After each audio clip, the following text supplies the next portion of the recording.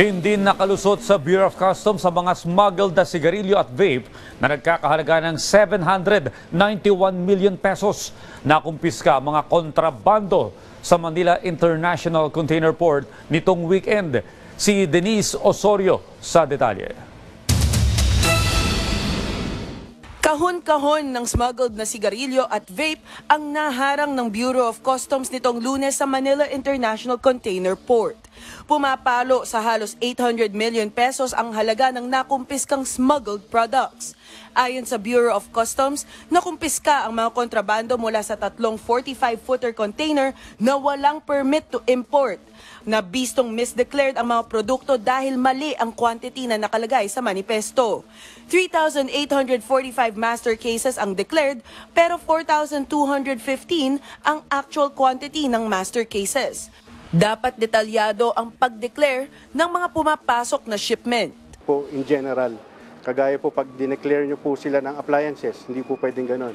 Di, pag dineclare nyo upuan, maaari po itong plastic, bakal, kahoy. Kaya ito po, hindi po pwedeng in general na tobacco products lang po. Kung kagaya po ito, dapat ah, filtered cigarettes. Tapos meron din po tayo nakuha nga po yung mga heat sticks, tobacco heat sticks na ginagamit po sa mga e-cigarettes po ngayon. Ah, hindi rin po na-declare yon. And upon checking po sa Tobacco Administration, hindi nga po ito authorized na mag-import.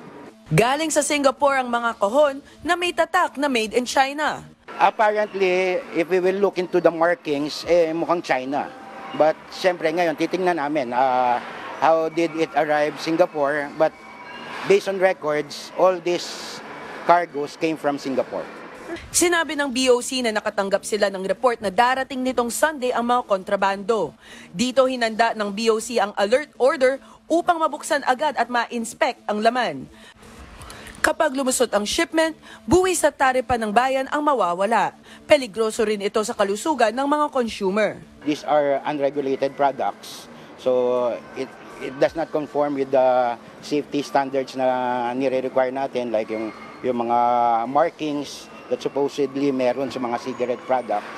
And it did not pass through the National Tobacco Administration. So hindi lang yung kita ng gobyerno but yung safety ng mga tao yung pinoprotektahan ng BOC in uh, apprehending this kind of shipments.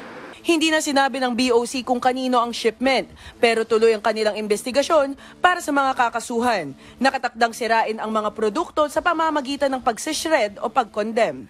Gagawin ito sa harap ng iba't ibang ahensya ng gobyerno.